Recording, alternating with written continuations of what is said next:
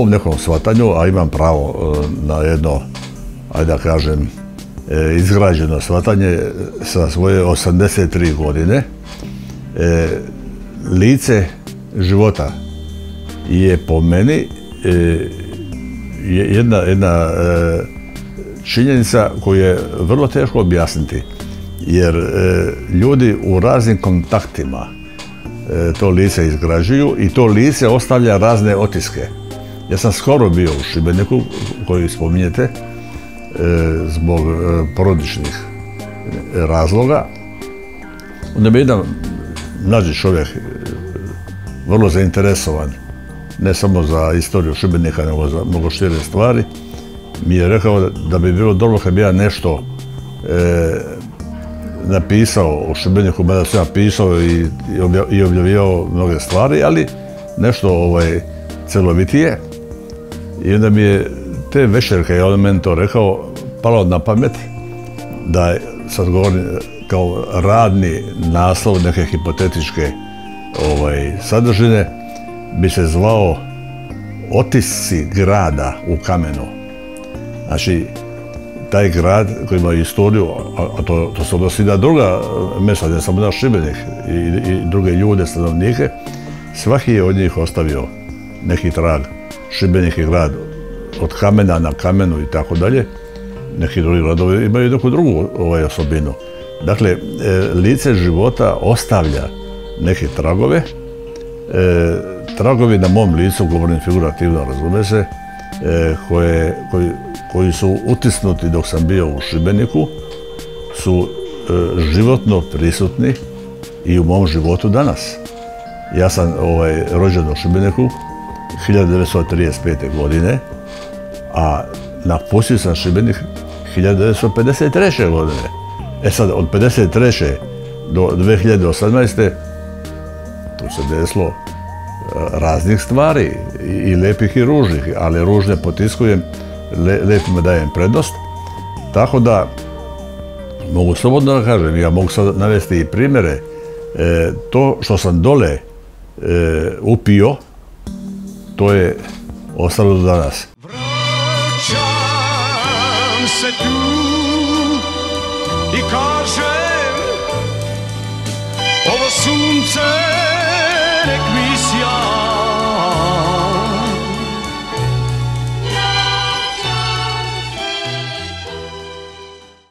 U jednom razgovoru prije ne znam koliko godina, nije, bitno, me jedan e, novinar pitao pa kakav je vaš odnos?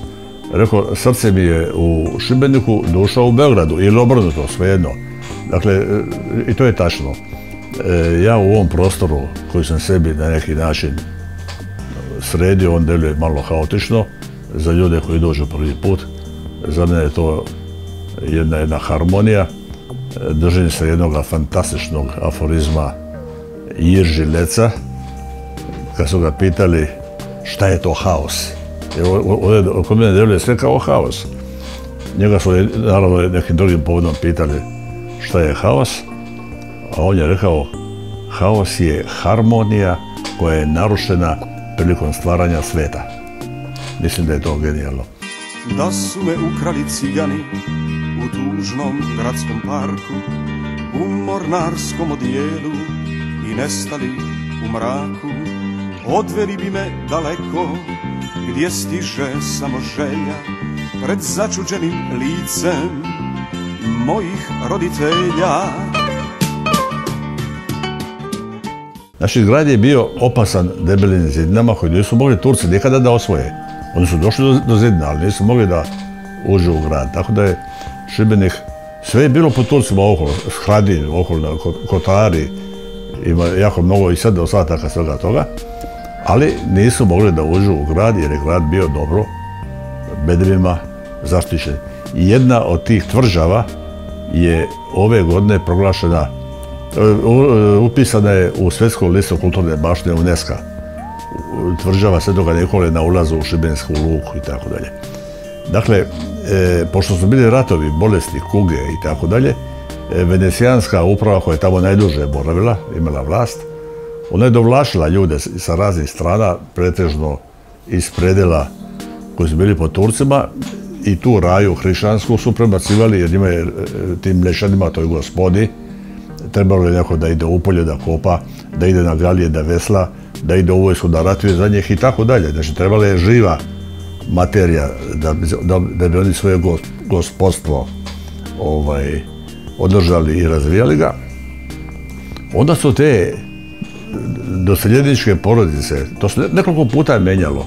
Ovaj, imam ja tu knjigu o šibenskim prezimenima, imenima, kad je ko dolazi i tako dalje. Ovaj, davali su tako neku parcelu van grada, po tim brdima, po tom kršu. Međutim, moji dedići, oni su došli, da kažem, relativno kasno.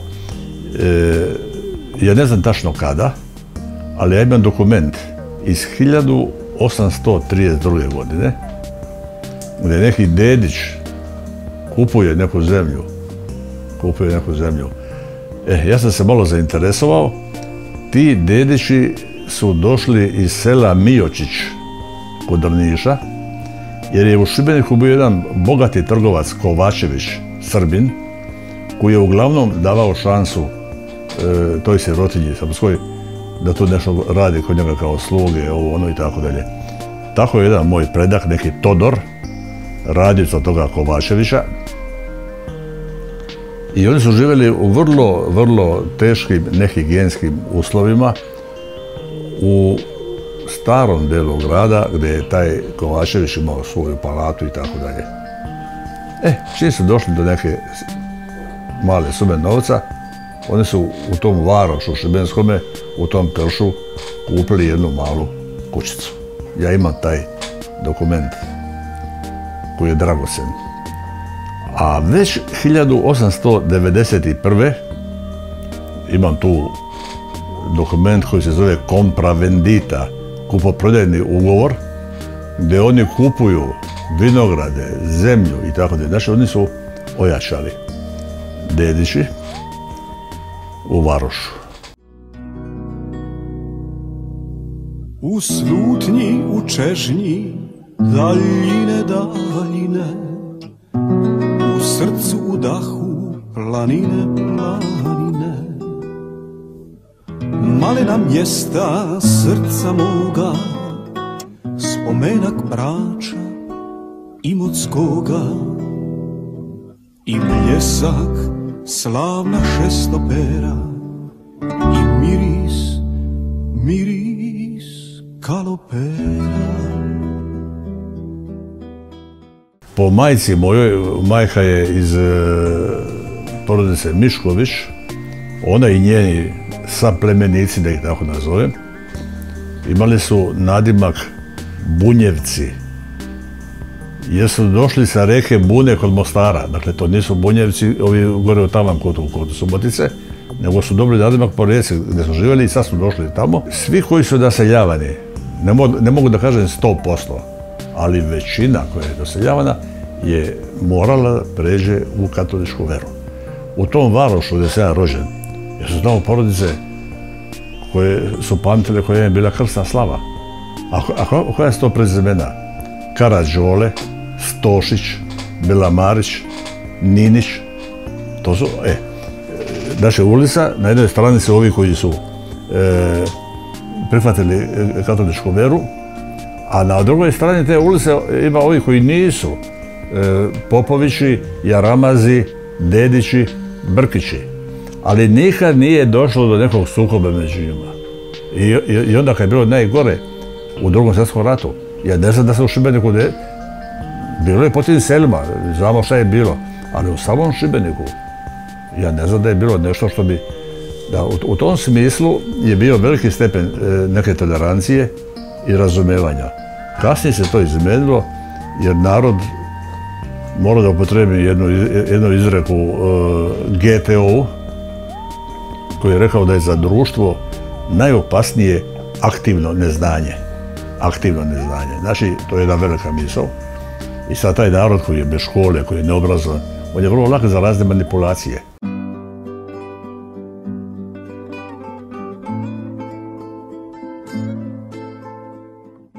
I oni su u tom selu koje zove Rupe, niti goreg imena, niti lepšeg predela. To je fantastičan predeo. Tu, je, tu se Krka širi, pravi jedno jezero. Na jezeru je e, jedno malo strvce sa jednim franjevačkim samostanom. To je sto puta lepše nego onaj Bohinj i Bled. Ali dobro, ona je isto bila teška sirotinja. Ti Miškovići. Ne, samo oni, nego i svi, svi ti Rupljani. Svi su išli e, u Ameriku, mislim, kad kažemo idu u Ameriku, svi misle nešto ovaj, Hollywood, ovo ono, ne, to išli su u rudnike, u željezare, u najteže moguće uslove. Neki su išli čak dole na jug, gdje su išli brašani, ovi otočani, do Patagonije. To, to je bio jedan, jedan nemogući život i većina se njih nikad nije ni vratila. Moj deda Mate dva put išao u Ameriku. E, kad je drugi put išao, bio je na brodu Karpatija, koji je skupljao brodolomnike sa Titanika i on je stalno o tome pričao. Jer ko, je znao da se taj brod potopio, niko nema veze. To je takvo vrijeme bilo. Majka radila kao služavka po raznim štalama tih malo bogatijih seljaka, ovo ono. Međutim, imala je jednu, prirodnu e, obdarenost, bila je vrlo lucidna, imala je moć zapažanja i tako dalje. To je neko zapazio i onda su je preporučili da bude e, sluškinja e, kod čuvene porodice Štrkalj. Oni su bili PL plemeniti, imali su plenstvo ti Štrkalji. Mislim, oni su bili toliko moćni da kad je car Franjo Josip dolazio u Dalmaciju, on je kod njih odsedao, kod tih Štrkalja. E, u tu porodicu je moja majka upala kao služavka jedna posmatrala šta se tu dešava i to je bio njen univerzitet, to je bila njena škola. Jer ona nikad nije išla u školu, je bila žena nepismena. E, ja sam htio da je upismenim. Ajde, kad ne treba meni to i tako dalje. E. Pošto je bila tako jedna e, stasita, lepa žena, možemo da i sliku njenu ovaj, snimimo i tako dalje. Ovaj, tu su e, mnogi prosjeci pojavljivali. Neki su od njih bili vrlo imućni. Međutim, ona je nešto gledala, merkala, ne znam tačno koji su to bili kriterijumi. Uglavnom, Jovan Dedić je izabran. U očima njenim more Svjetlucaju sol u kosi Ona ne da da je slome Otima se i prkosi Mi smo bili tipična šibenska težačka porodica. Ta kućica u tom Varošu, gdje gdje sam ja rođen i moj brat Arsen, ona je rađena po sistemu Lego kocke. Znači, čim dođu do neke male love, e, sad ćemo jednu malu sobicu, e, sad ćemo WC, sad ćemo kupatilo, i tako dalje, i tako dalje. To se tako dozređivalo. Jer WC smo imali iza kuće gdje je bilo džubrište i da me trebalo to džubrište, imali smo i svinju i magarca i ovo jedno za polje, odakle na džubrivo za vinograd i tako dalje. Međutim, majka je tu imala ključnu ulogu jer je stalno govorila e, budite sve, osim razume se kriminalci, samo ne radnici. To nije mogla da smisli, jer je celo života gledala svoga muža, svoga devera, svoje komšije koji rade dan, noć, a nemaju ništa. Kao u školu, u školu. I ona je pratila e, neka naša interesovanja. Ja sam vrlo rano ispolio, e, ajde da kažem, neki talent za crtanje. Hvala Bogu što je to tako ispalo, jer ja imam. Šibenik je grad koji je imao veliki problem sa vodom, iako je bio blizu Krke. I bile su česme, jer vode nije bilo, bili su bunari, gospoda su imali svoje bunare i tako dalje, i gradske cisterne, a ovi drugi kupljali su vodu u kišnicu, ovo ono i tako. Dakle, to je bio veliki problem, naročito kad dođe berba grožđa, to je bio, mi smo išli, ja sam išao kao dječak, imali smo toga maloga magarca, to je bio moj najbolji prijatelj, jer me je odmenjivao u nošenju raznih tereta. Imali smo takozvane bučije, to su specijalna burad za tovarnje na magarce i onda Šibenik Krka 15 km, napune vodu pa još 15 km nazad. Dakle, kada, je, kada su gradski osi donijeli odluku 1880. otprilike da se uvede željeznica u Šibenik, ta željeznica nije mogla da funkcionira bez vode. E, onda su sproveli sa slapova Krke vodovod za potrebe željeznice, a onda se neko osjetio da se neki ogranci sprovedu po kvartovima šibenskim. Tako i šibenski varoš, gdje se ja rođen, dobio česmu koja je radila u određeno vrijeme. Ja imam taj crtež te, te česme iz 1951. godine. To je jedini dokument da to postoji. Eto, ja sam imao 16 godina. Ima jedna modra rijeka, široka je, duboka je, sto godina široka je, tisuć ljeta, duboka jest, o duljini i ne sanjaj, tma i tmuša neprebolna, ima jedna modra rijeka, ima jedna modra rijeka. Majka je pratila kod mene je osjetila da ima e, smisao za crtanje, a pošto je otac bio veoma, veoma talentovan muzičar, on je naravno mogao ići u neke škole, ali je bio muzikalan, talentovan, prirodno obdaren, ovaj, Arsen je ispoljavao više tu žicu, da je tako nazovem. I dešavalo se, imali smo jedan sto, nazovimo to kuhinja, ali nije to bila kuhinja u klasičnom smislu, tu je, tu je sve bilo. E. Onda taj stol su nekako sklepali, međutim na tom stolu su sve obavljale, sve moguće radnje, priprema hrane, jelo, ovo, ono, sve. Onda jedan naš komšija koji je počeo da uči za limara, je donio iz preduzeća jednog parče lima, ali ono je od aluminijuma. Ali ono je moglo da pokrije samo pola stola. Kako sada pola stola pokriveno, a pola nije pokriveno. Onda on je se nekako snašao u mušetnik pa je donio još jednu polovinu, ali pošto to, su bile dve polovine, on ih je nekako spojio. I taj spoj je bila ta demarkaciona linija. Na jednoj strani sam bio i ja, gdje sam crtao, šarao i tako dalje, a na drugoj je bio Arsen koji je do besvesti vežbao flautu, a u sredini je bila majka koja je spremala tamo nešto za jelo i samo gleda malo levo, malo desno. Onda vidi tamo nešto što sam radio, a kaže to te ništa ne valja, uzme, pocepa i baci. A ono što ona misli da je dobro, to su oni, onda je sačuvala masu takvih mojih crteža iz tog ranog mog perioda. Arsenu, on tamo nešto svira, ona nema pojma koje je Bokerini, koje je ovaj, kada nisi jedno, baš dobro, ona to osjeti. Tamo, tamo da putuje, tamo, tamo da tuguje. Fantastična priča kako smo išli da mu kupimo flautu Arsenu. To je bilo fenomenalno.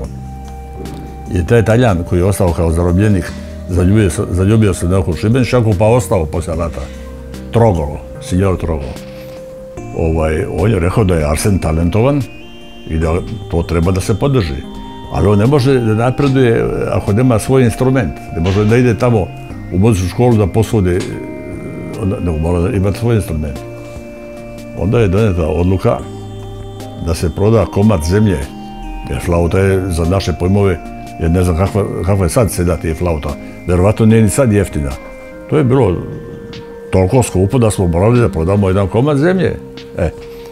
I onda je majka išla u Zagreb, ona se raspitala da u Zagrebu, u njihovoj glavnoj ulici koja se zove Ilica, broj 40, to se pamtim dobro, je bila radnja za prodaju muzičkih instrumenta koju je držala izvesna gospođa Penc.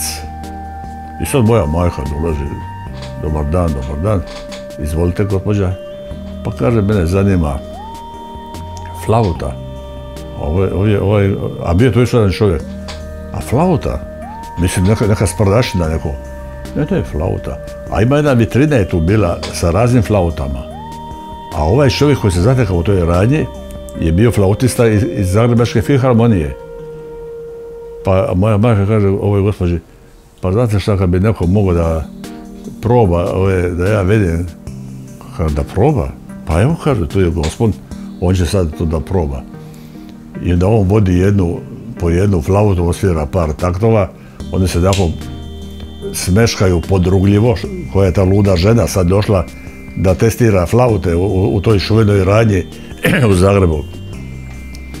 Kad su ti testovi završeni, ovaj pita, a kaj ste odlučili gospoja? Kaže, ono, pokaže ovako energično prso na jednu flautu, to je bila najbolja flauta. Ovi se iznenadili. Ona je za tu flautu platila, ovi su počeli nešto da pitaju, ne, ne, ona se pokupila i otišla. Tako je Arsen došao do svoje prve flaute. E, ja mislim da on još tamo šuva, Matija je to naslijedio, naravno i tako da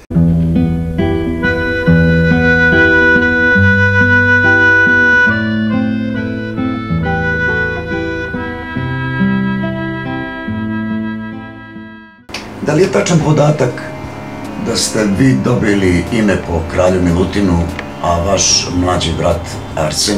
Znate šta, e, mi smo imali jednog sveštenika u Šibeniku, e, Konstantin Konstantinović, zvan Pop Kojo. Više je dolazilo kod njega ovim od ulica, žena sa ovaj, otoka, ostrova, da se mole i traže utjehu ili pomoć ili ne šta, nego pravoslavnih familija. On je htio na razne načine da održava srpsko pravoslavno biće Srba koji žive u Šibeniku i okolini. Pa je i davanjem imena to pokušavao. Jer kad se, ja sam rođen u oči Svetog Luke i majka je htjela da, se ja zovem Luka, što ne bi bilo uopšte pogrešno, jer je Luka apostolsko ime. Da ne kaže, on će se zvati Milutin. Da li je on imao to u vidu ili ne, ja u to ne mogu da, ulazi, jer njega su ubili ovaj, u toku rata je on stradao. E, a kad se rodio Arsen, majka je htjela da se zove Igor. A kaže, ne, moj, to je Igor, bolje da se zove Arsenije i tako je to došlo. Ali se ne treba to sada s tim mahati i praviti toga nešto. Mislim, to ne, bi, to ne želio da se to zloupotrebljava. E, u svakom slučaju u vašoj kući su se slavila se i slava ali dva Božića, dva Uskrsa, ili? A normalno, ovaj, jer majka je poštivala to odakle je došla, jer ona je kad se udala prešla u pravoslavnu veru, ali i smatra da treba poštivati i to odakle je došla. A otac je smatrao da je krsna slava jedno od, od i on je ostupao od toga. To je, to je sasvim normalno.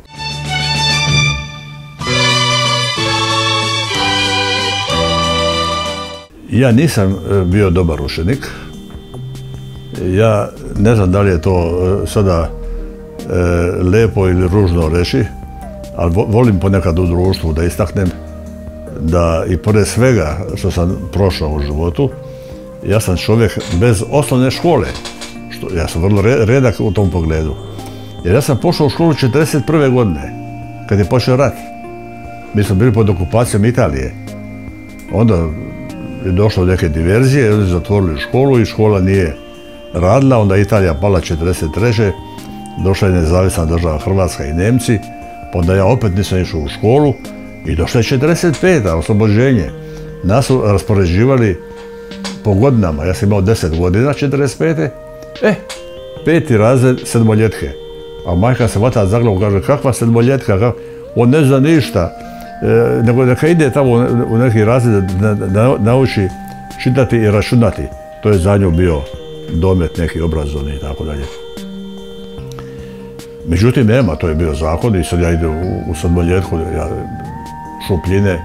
Ali bilo je i starijih od mene koji nisu još gore su bili od mene, da su nam davali te ocene samo da nas se utarasi i tako dalje.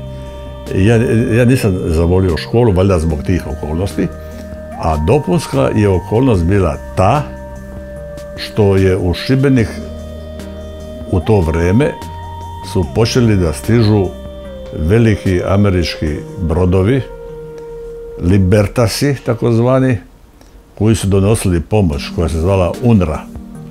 I sad kad dolazi brod iz Amerike, pa onda to neki mornari, jer sam tada prvi put vidio crnca, na primjer, i tako dalje, pa onda ti da neku žvaku, pa ti da ovo. Mislim, to je bilo daleko, daleko privlačnije nego da je sam u školu. I ja sam to malo ovaj, bežao iz škole i tako dalje, bilo je problema i sa ocenama. i navešao samo jedan detalj koji će možda da osvetli neke odnose. Arsen je imao sve regularno. Sve regularno. Nikakvih on nije imao problema za razliku od mene. Imao je sve petice iz svih predmeta od prvog do osmog razreda gimnazije. Od prvog osnovnog, osnovne škole do osmog razreda gimnazije. Međutim, jedne godine je on imao iz srpsko-hrvatskog jezika na polugodištu četvorku. On je htio se ubije, on je plakao, on je čekaj čoveče se ti normalno. Meni da je vidjeti trojku, ja bi se spasio. I tako sam ga malo ovaj, utešio. Ali ja sam imao jednu također e, bogom danu osobinu. Taj ujak moj od majke, e, on je bio mnogo mlađi, njen brat, taj moj ujak. E, on je bio prvoborac i on je po toj liniji dospeo u Beograd. I on je meni iz Beograda slao knjige. Ta naša biblioteka u Šibeniku, tu ima oko hiljadu knjiga. On je samo slao knjige, knjige, knjige i on je mene zainteresovao za knjigu. I ja sam počeo da gutam sve što je napisano. To je meni davalo oslonca, ali sam pravio selekciju. Recimo, e, hemija, fizika, matematika, ja nemam pojma. Ovaj. Međutim, ovo moram da istaknem, e, profesor hemije, moram njegovo ime spomenuti, zvao se Stipe Bošković. Bio jedan bojem, jedan neženja, jedan fenomenalan tip. Ovaj, nije znao što da radi sa mnom. Onda me ovaj, stavio u prvu klupu da me ponekad opali sa onim katalogom po glavi jer ja nisam ništa znao. Ali mi je uvijek dao prelaznu ocenu da ne bi zbog hemije gubio godinu. Jedan nevjerojatan odnos.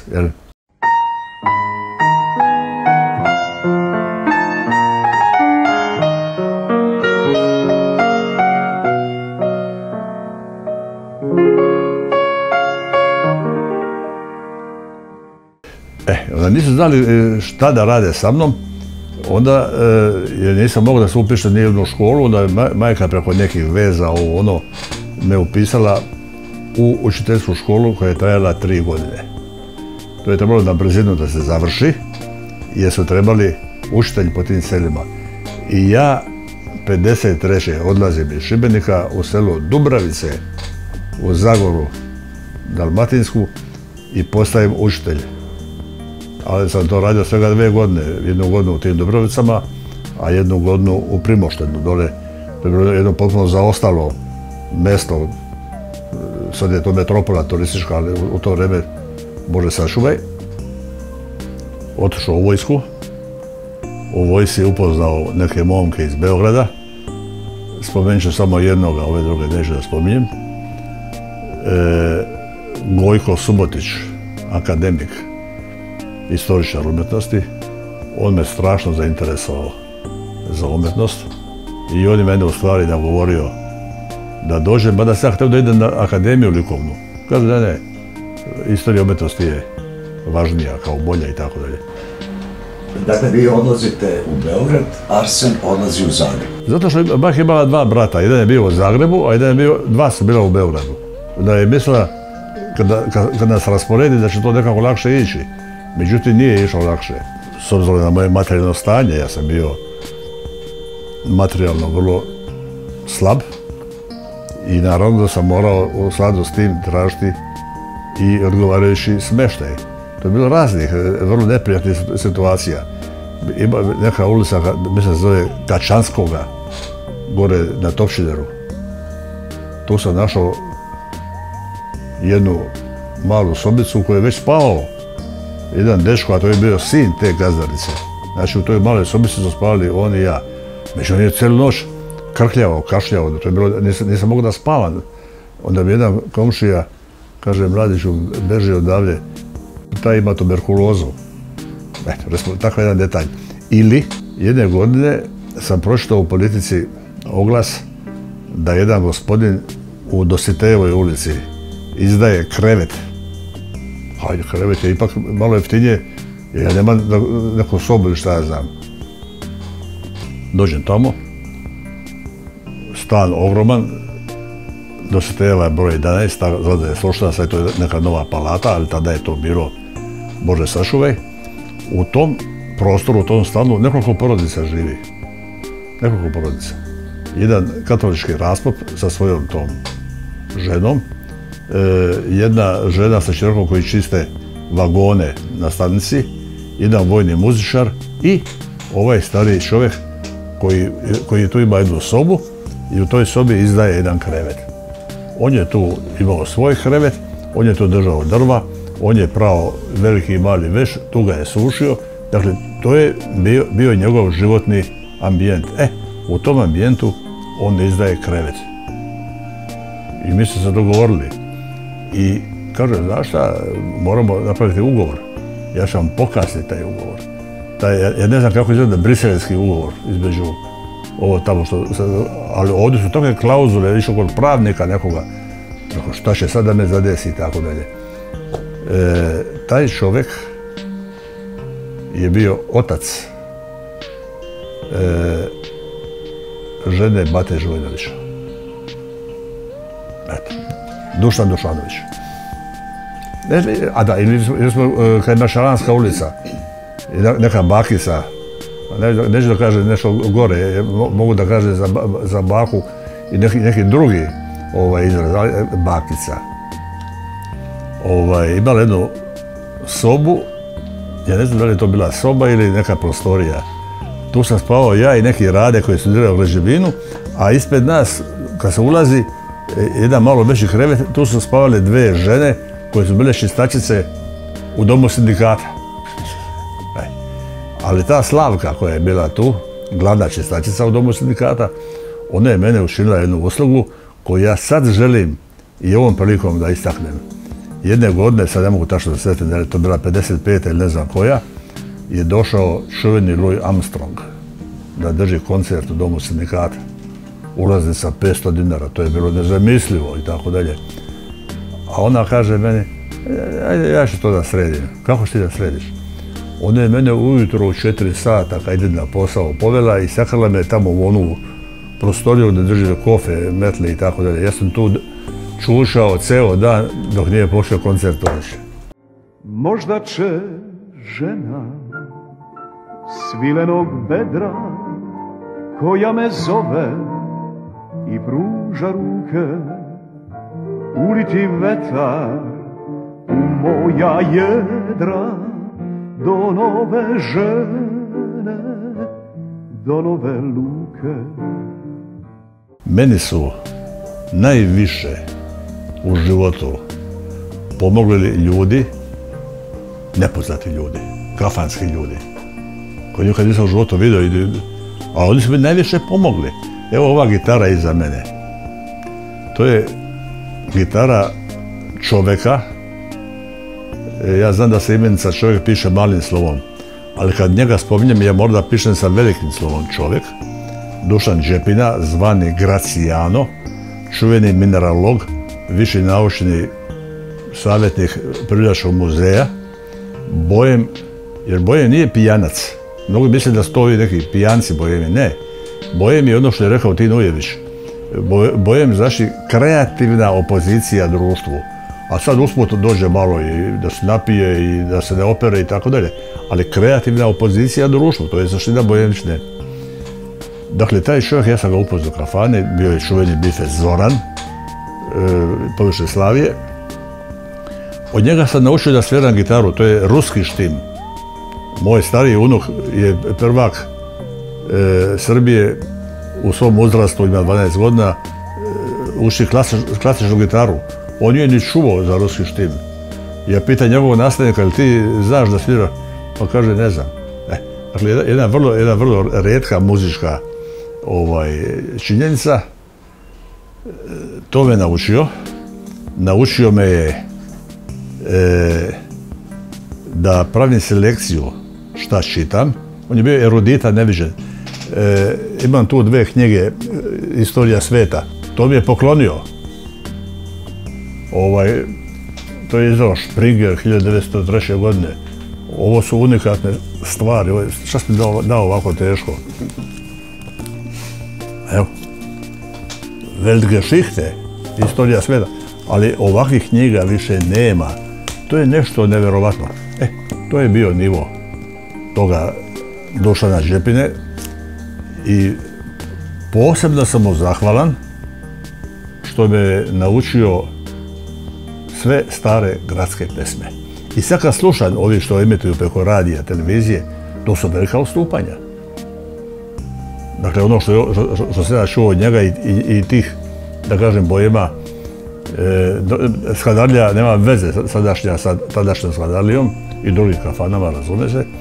Dakle, taj čovjek mi je toliko značio u životu, nažalost je relativno mlad umro, gitaru je ostavio ženi i kad, se ona upokojila, ona se posle udala, onda je u toj opornici rekla tom svom novom mužu, gitara obavezna da ide kod Milutna, evo je to iza mene i imam ove dvije knjige od njega.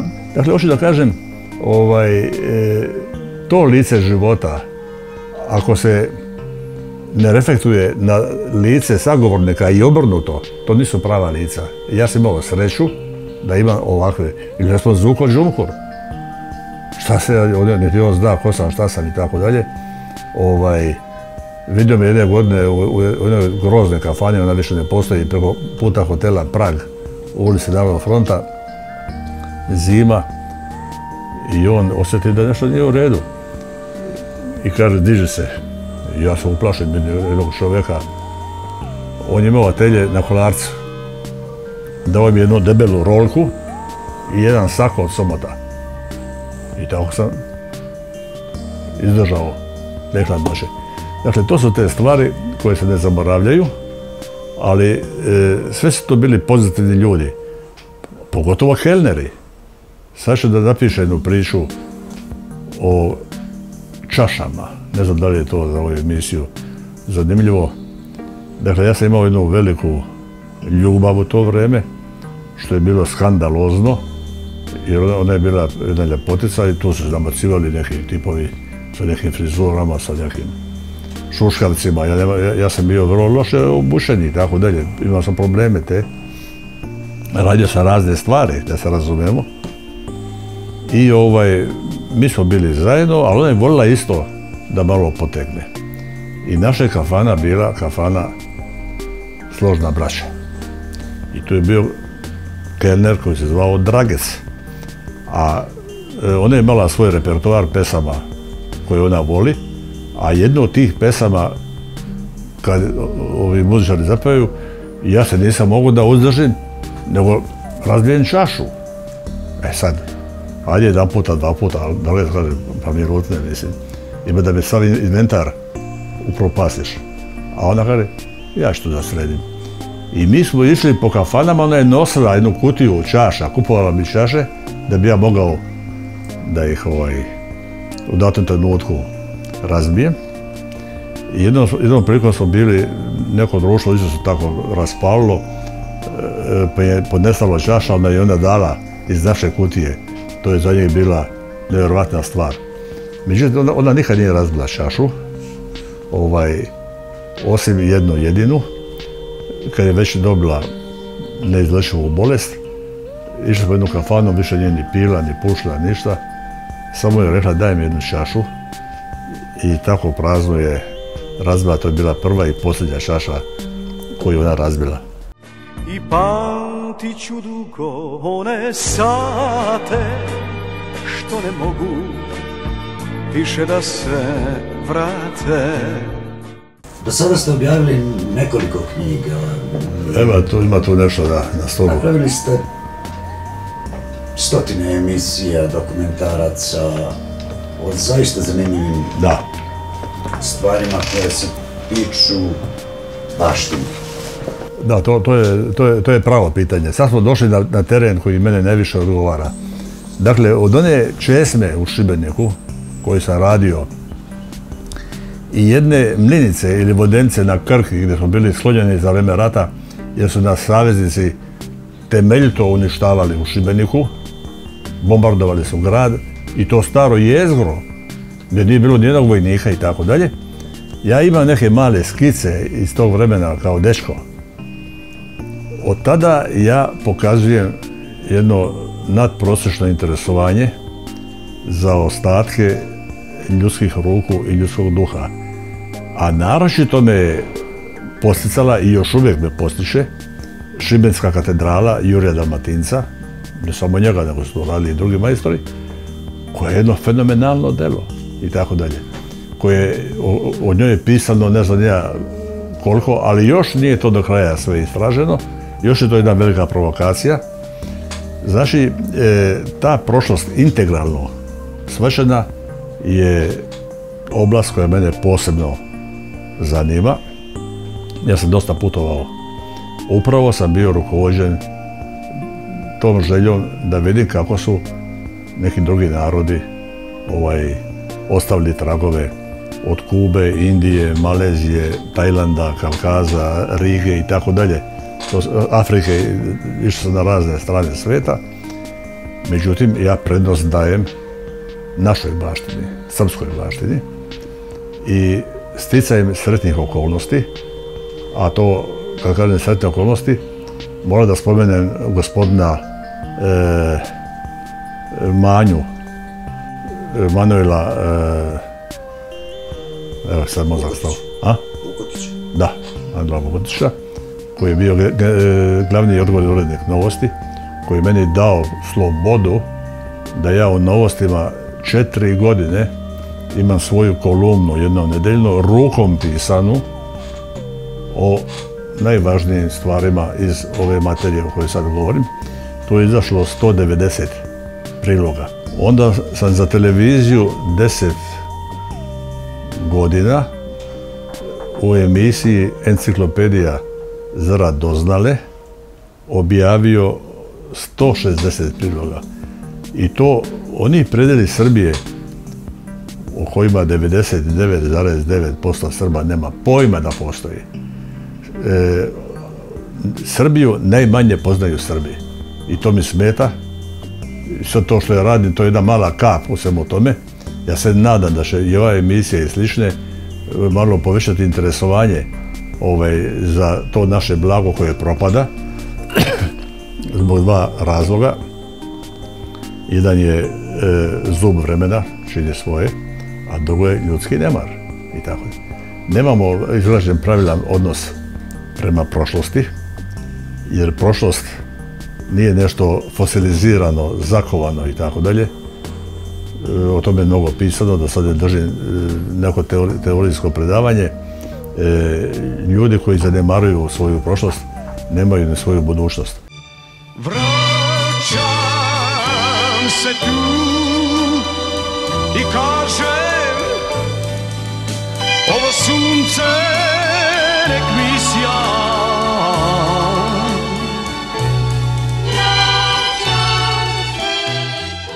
Neki su ljudi primetili da to što ja radim ima nekog smisla.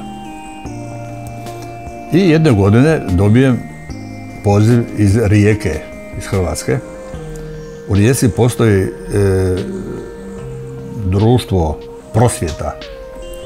Srpska manjina u Rijeci imaju svoje društvo prosvjeta i ta prosvjeta ima list koji se zove bijela pčela, list za svu djecu. To je kao neka vrsta zabavnika, naše politike, zabavnika. Oni su mene molili ovaj, da imam svoju kolumnu, rubriku. Ja sam rekao u redu, ovaj, e, pristajem na to, ali imam jedan uslov. A to je, moj tekst kad se piše o baštini, mora biti na čirilici. Kaže, nema problema. I evo, ovo je zadnji broj izašao.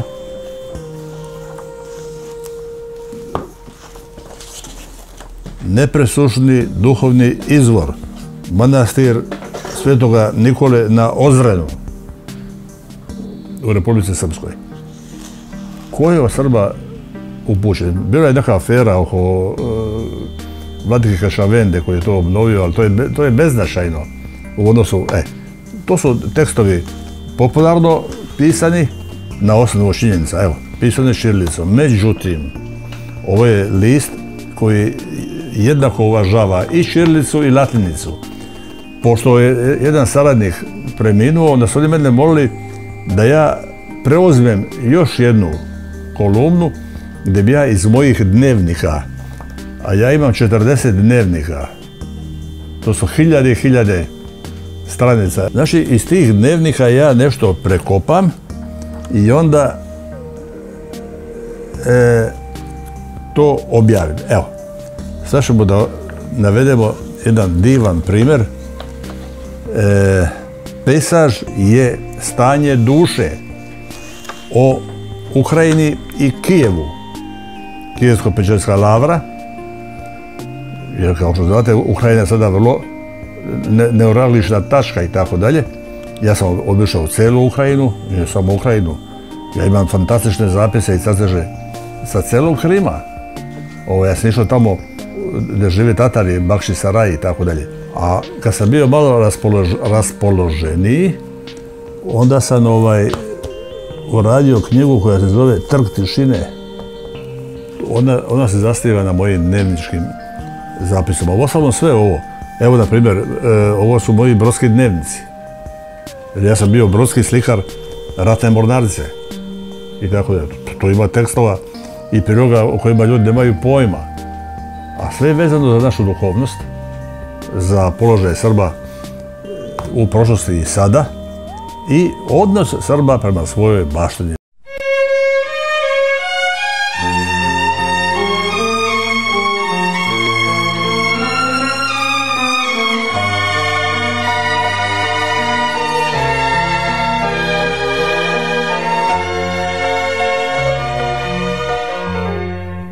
hvala Bogu što moj stariji sin Luka, on je dosta uvaženi ovaj, konzervator fresaka.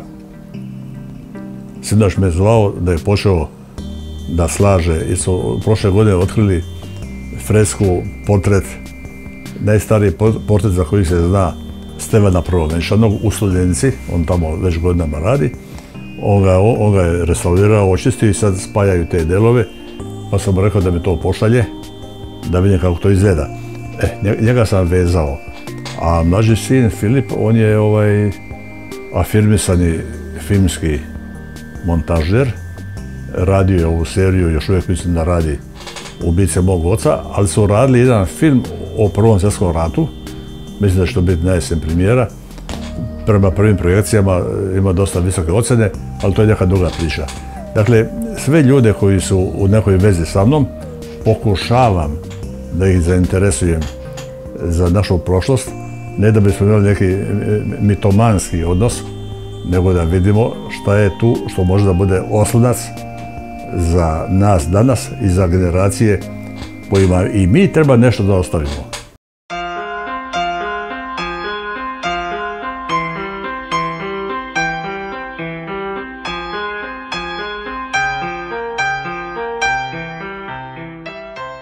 Ja sam bio više puta jer ja sam radio izložbu. Sa mojom je izložbom e, započelo obeležavanje osam vekova hilendara. E, ja sam imao sreću da se družim, ako je to primjeren izraz, sa starcima, kojih više nema, od kojih sam nisu oni mnogo govorili, ali nekada čutanje više govori nego neke, ne, neke reči. Sjećam se jedne prilike, e, na Svetoj gori postoje razne e, strukture monaha. E, ima neki koji su potpuno izdvojeni anaheroti, pustinjaci koji žive dole skroz na jugu. To je neki predovo koji se zove Karulje. Kako oni tamo žive, ja nemam pojma. Međutim, jedne se večeri pojavio jedan od njih u Hilandar.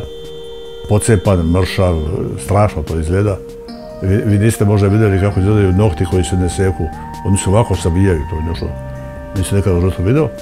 Onda je Iguman moj se je rekao dajte mu novu mantiju da se malo opere, sredi, pojede nešto i tako dalje. Sve to urađeno i da smo uveče, poslije večernje, ima jedna mala terasa, tu sedimo, slušamo te sarce, neki razgovori i to. Ovaj čuti cijelo vrijeme. I da mu kaže Iguma, kaže, ajde brate progovori da te barem glas čujemo. A ovaj mu kaže, ako ti moje čutanje ništa ne govori, moja besjeda će ti još manje reći. E, znači, to je Hilandar. Ako ti nisi osjetio dubinski, i ljudi idu iz nekih pomodarskih nekakvih, ne znam kojih, da kaže, e, bio sam na Hilandaru.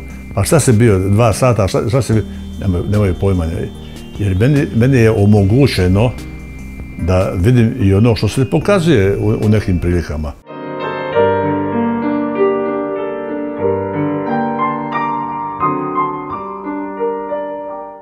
E, ima knjiga, zove se Čuo sam svog oca.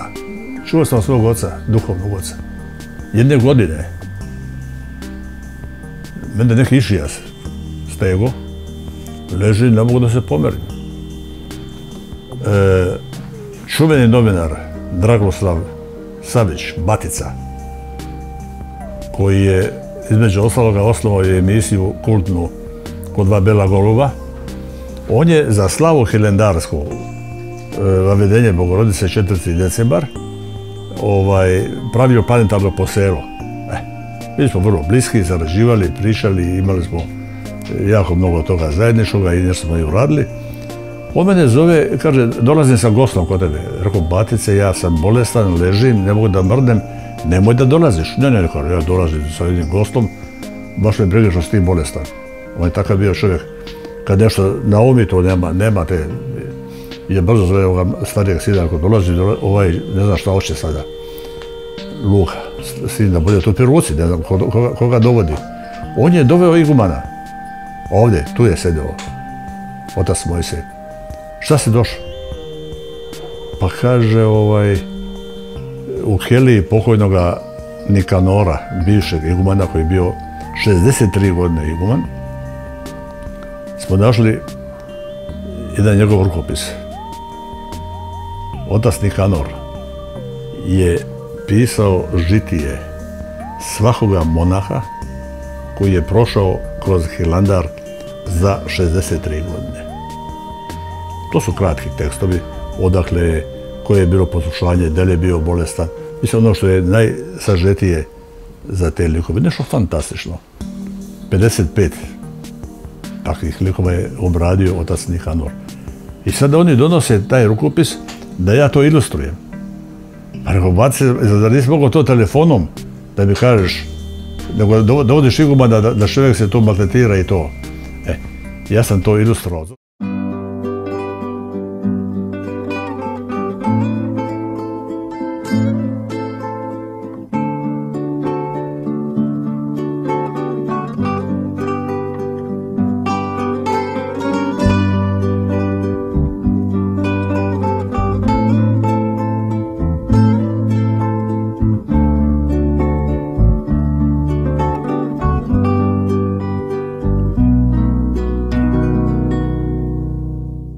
Ja sada kontaktiram ljude koji su iz raznih aspekata dolazili u Hilandar i radili tamo. Na primjer, Nikola Mejanđija. On je stručnjak broj jedan u biblioteci Srbije za konzervaciju knjiga. On je tamo godinama, 20-30 godina, svoj godišnji odmor provodio radeći na konzervaciji knjiga. Ja sam imao s njim razgovor, što znamo se dobro, da bi objasnio čemu je tajna svega toga. I onda kad čovjek uđe u tu materiju, onda se otvara jedan novi svet. A to je da na bogoslužbenim knjigama u Hilendaru, na belinama, na marginama postoje razni zapisi. To su knjige u knjigama.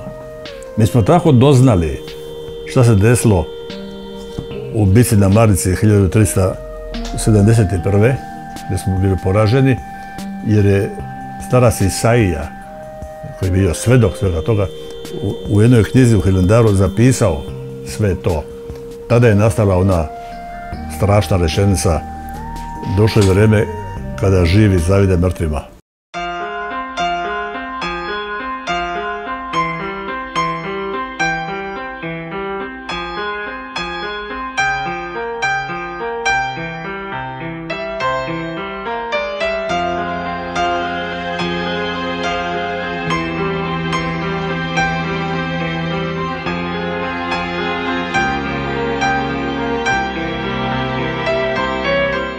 Održao sam sigurno jedno 200 predavanja u Hilendaru za škole, za izbjeglice, za vojsku, za e, razne strukture, jer mislim da tu stvar dobro poznaje. I sad, evo, dali sam je šlagort, kad je bila proslava 800 godina, onda je pošta tadašnja odlučila da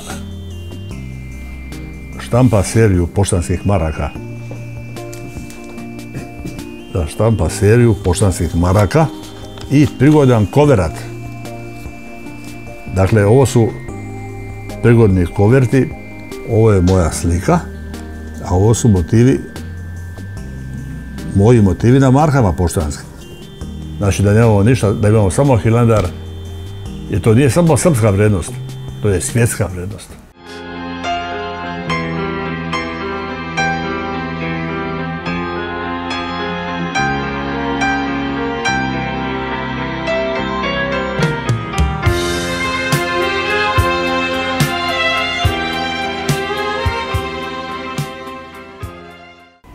Nije, nije ni vic, ni anegdota.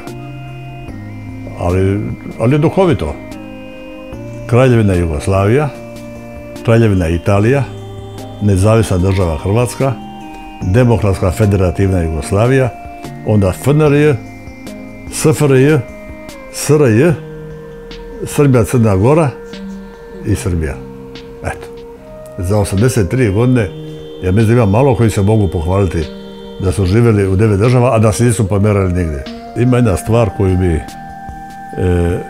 volio da produžim, a to je da me ne napusti moja radoznalost za mnoge stvari i da mnogo e, više ljudi, dakle ne samo moji sinovi i moji unusi, e, krenu mojim putem. Mislim da to neće biti pogrešno. E, onda se može reći da smo ispunili svoj život i da lice života ima nešto što će da ostane utisnuto i u vremenu koje dolazi. Život je more, učina crna, po kojoj tonu mnogi što brode. Nije mi srce plašljiva srna, ja se ne bojim velike vode.